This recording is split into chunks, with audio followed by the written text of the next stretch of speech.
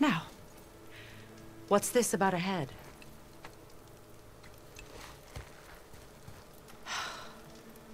Do you have any idea who this is? Did you kill him?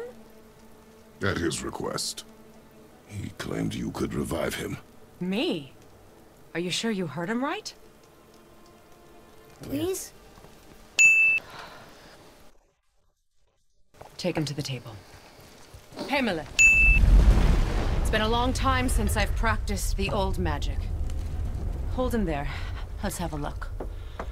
Well, thankfully his head hasn't decayed much and his brain is still intact.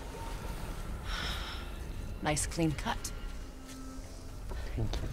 Cutting off his head of all people. I sure hope you know what you're doing. Now, hold his head under the water and don't let go. I mean it.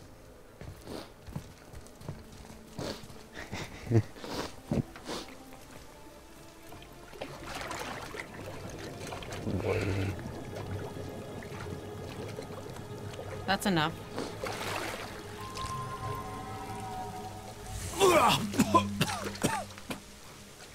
It worked! Oh.